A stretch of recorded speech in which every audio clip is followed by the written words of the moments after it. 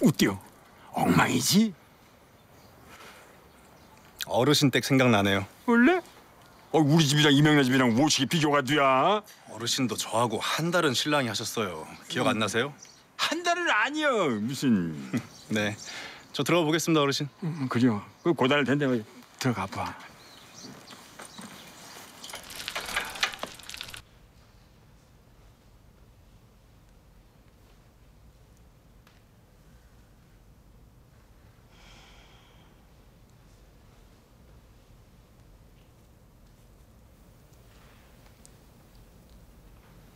잘 지냈어?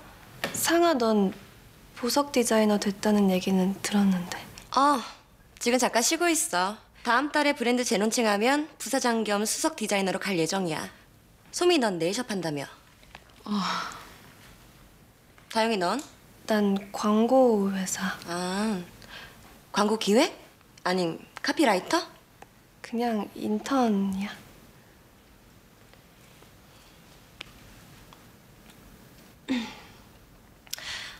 어쨌든 이렇게 모인 거 진짜 신기하다. 그러게 난 오래 있진 않을 거야. 회사 새로 시작하면 가까운 오피스텔 얻을 생각이거든. 암튼 뭐 이렇게 된 거 집주인의 계약 조건을 빨리 말해. 그게 보증금은 없어 그냥 한 월에 50 정도 받을까 했거든 50? 난 오케이. 소미는? 어, 나도 좋아. 공과금은 나눠서 내. 남은 n분의 1 하면 되잖아. 그래도 돼? 그래, 그렇게 하자. 그럼 밥은 그냥 각자 알아서 먹자. 쉐어하우스잖아. 다들 그렇게 해. 최대한 편하게, 편하게. 그렇게 지내자. 그럼 우리 계약 성사된 거다. 잘 부탁한다. 나도 잘 부탁해.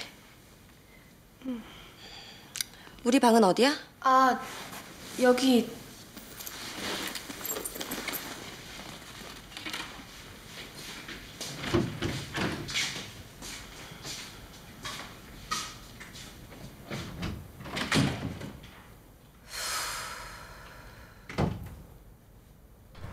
그래서요?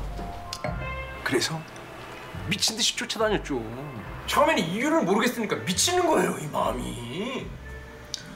아, 내 마음이 더 아프다. 내가 꼭 만나서 물어봐야겠다 싶은 거죠.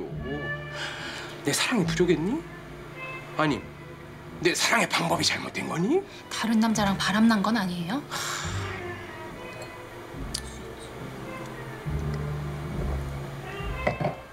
그렇다 해도 내 눈으로 직접 확인을 하고 싶은 것이죠. 그것이 사랑을 잃은 사람의 마음 아닙니까?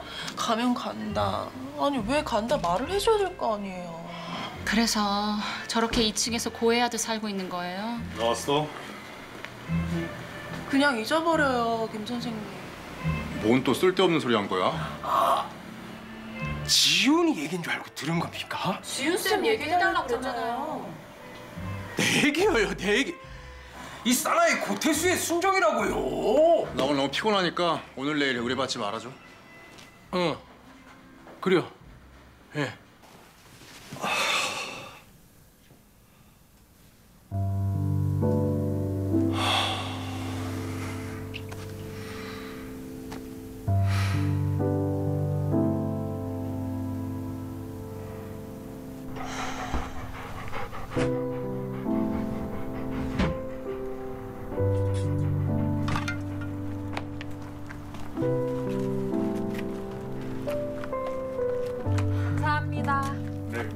들어가겠습니다